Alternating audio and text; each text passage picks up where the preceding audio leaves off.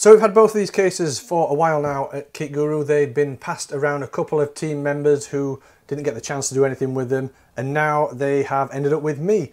Because these have been launched for a while, it might seem a bit pointless for us now to review them.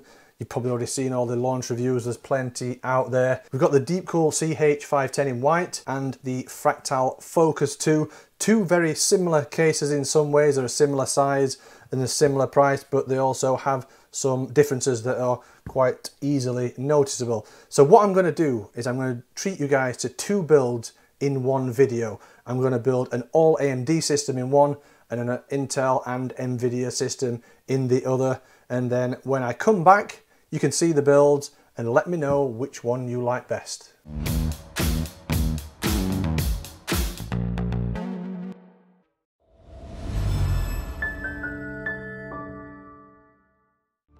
Wolf Pro. Tough, ready, scalable. So before I start the builds, I just want to give you a quick rundown of these cases. They're both quite compact mid-tower ATX cases. The one on the end is the Deepcool CH510 in white, and this one is the Fractal Focus 2.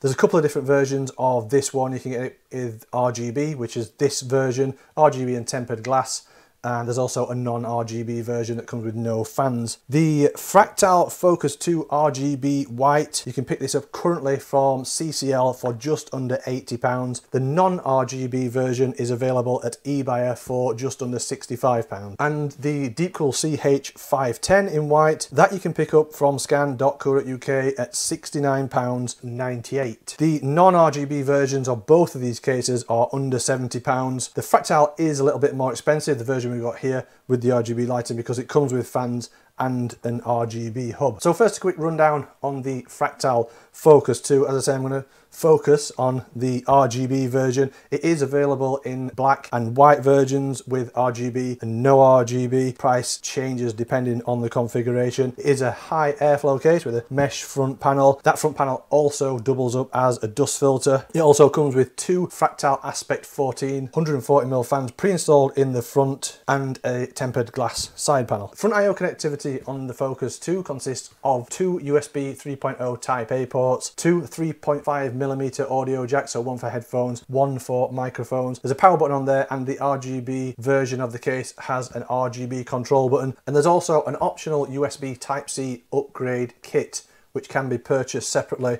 You do have a space for that, which is just blanked off if you don't buy the upgrade kit. In terms of cooling support, so it is quite a compact case, the Focus 2, but it has space inside for up to 620mm fans, so you can fit three in the front, two in the top and one in the rear. Or if you want to just stick with 140mm fans, you can fit up to 440mm fans in the Focus 2. There's also decent support for radiators, so in the front you can fit up to a 360mm radiator.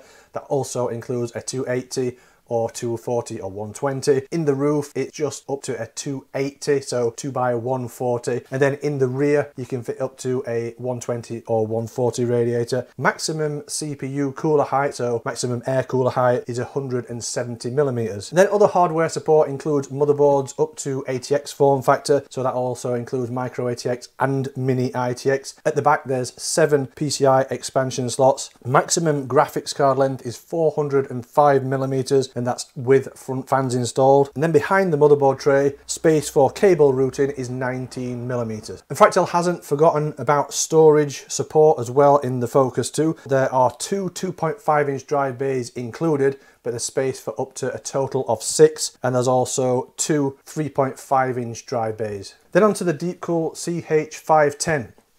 We've got the white version here. This is also available in black. In some ways, it's similar to the Focus 2 with its size and support for hardware, but it's also quite different because on the front, you've got a minimalistic solid front panel with just vents down the side for airflow. There's also a built-in headphone holder on the side. And then on the bottom of the right hand side panel, there's extra vents for airflow coming through the power supply shroud. We'll take a look at that in a bit. I'm going to mount some fans on that during the build and see how that works. The CH510 also includes a built-in GPU anti-sag bracket, removable dust filters on the front, top and bottom. Front I.O. connectivity consists of two USB 3.0 Type A ports, a single combined 3.5mm audio jack, and power and reset buttons on the front I.O. In terms of cooling support in the CH510, there's space for up to 920mm fans or 540mm fans. There's only one fan included with the CH510, and that's just a plain black 120mm exhaust fan pre-installed in the rear of the case. Again, liquid cooling support is good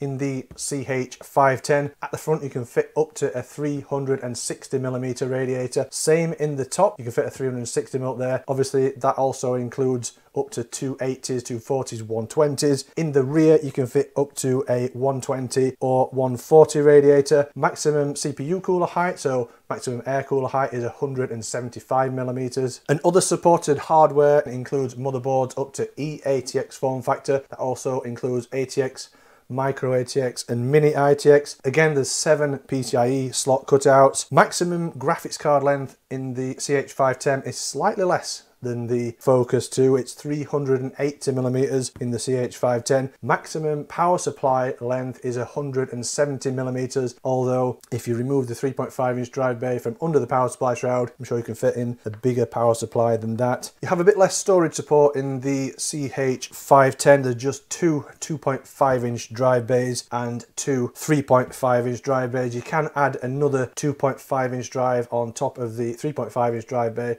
but that obviously then limits the 3.5 inch drive to just one. So moving on to the builds. For the Deepcool case, I'm going to be going for a white theme build.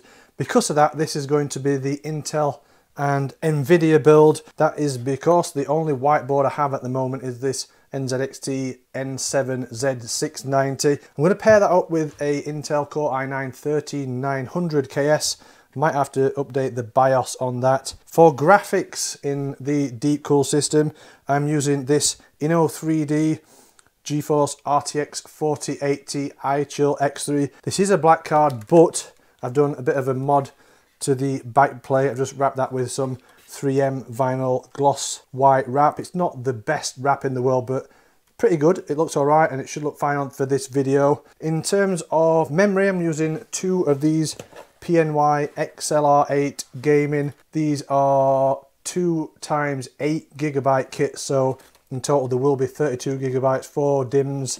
These are white and they are DDR4 3200 because the N7 Z690 that sports DDR4. Storage is also from PNY. It's the XLR8 Gaming CS3040 one terabyte PCIe Gen 4 M.2 NVMe drive.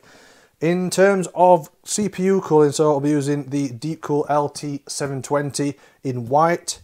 Good CPU cool, I did an unboxing video on that recently, so now we're going to be using that in this system. To power the system, it's a Deepcool PQ 1000M, so this is an 80 plus gold, fully modular power supply. Might be able to find some white cable extensions for that and then some fans in the system because it doesn't really come with any fans as such just that black fan in the back I'm going to be removing that. And I'm going to add some of these Thermaltake Swafan EX 12 and 14 so 120 and 140 millimeter fans.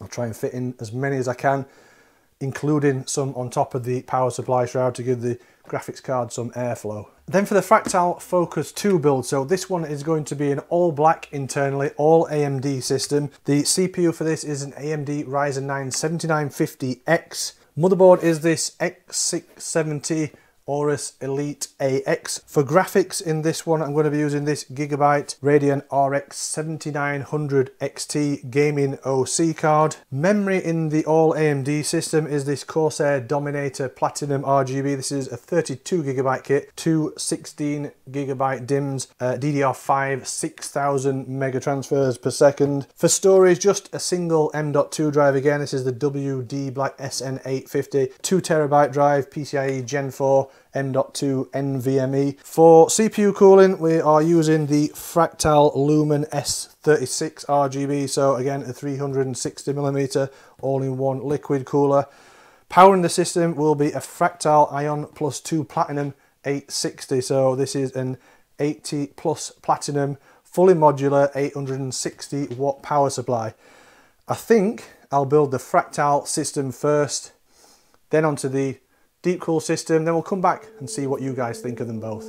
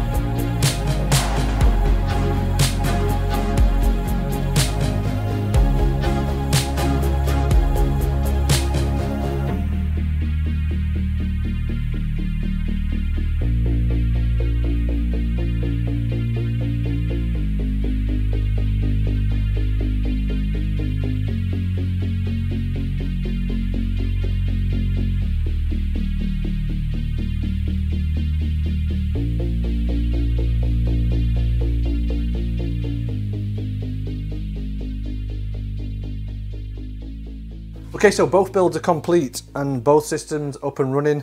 Everything's working as they should be, which is a pretty major achievement with two builds in one day. No major issues really with either build, apart from the top of the Focus 2. It's a bit tight. If you've got 140mm fans in there, Connecting EPS cables is difficult. You have to drop the fans out to connect the cables up and then getting the 140mm fans back in once the EPS cables are connected is very tricky. I did have to squash the cables down quite a bit. It's not ideal. I wouldn't probably recommend using 140mm fans in that Focus 2 at the top I would use 120s. The reason I use them simply was because the 140mm fans came with the case and I wanted to reuse them rather than having to switch to some other fans. But they do fit. I have to stress that they do fit, but it is very tight. Other than that, both of these cases were really good for building a system in, considering that both these cases can be had for under £70 without the fans in the Focus 2. That is pretty impressive to me. I mean, when these cases were designed, there's no way the designers would have imagined somebody's going to build a 3900 KS RTX 4080 system in the Deep Deepcool one and an AMD 7950X and 7900 XT system, especially in that Focus 2, because the really cheap cases, ideally designed for lower spec systems, you know, we have been able to build these high-end builds in these cheap cases, so it's testament to them.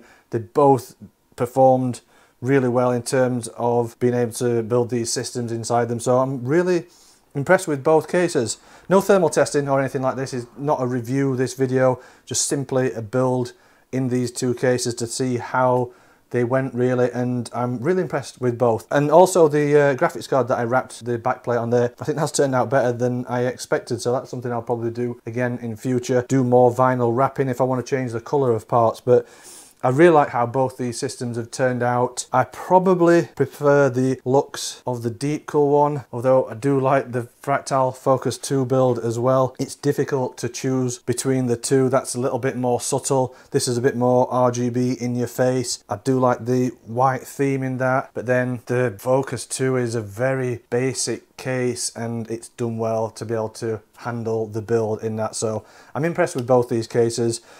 Let me know in the comment section which one out of these two builds you prefer. Would you have the Deepcool CH510 build with the RTX 4080 and the 13900KS or would you go for the Fractal Focus 2 with the all AMD 7950X and 7900 XT build? Let me know which one is your favourite. So I hope you've enjoyed watching this battle of the two budget cases with the Deepcool CH510 and the Fractal Focus 2. If you enjoyed the video, let me know what you think in the comment section and give us a thumbs up. Subscribe to the channel if you've not already done so. And if you enjoy what we do here at KitGuru, you can always help support us by heading over to the store and picking up some of the merch. Or you can subscribe to our Patreon. And if you want to catch up on all the in-depth technical reviews, head over to the website